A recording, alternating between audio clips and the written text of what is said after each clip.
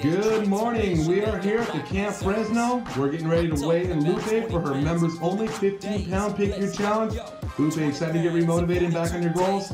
Let's do it then. Let's go ahead and step on that scale. 256.2. Good morning. We're back with Lupe, who's about to do her final weigh in for her members only 15 pound pick your challenge. It's been six weeks. How you feeling today? Excited your final results? Step on the scale, here we go. 237.4, that's gonna be a total loss 237.4, 18.8, Lupe, congratulations. Shedding that weight, yeah, I know you want it. Get in shape, be healthy, feel great.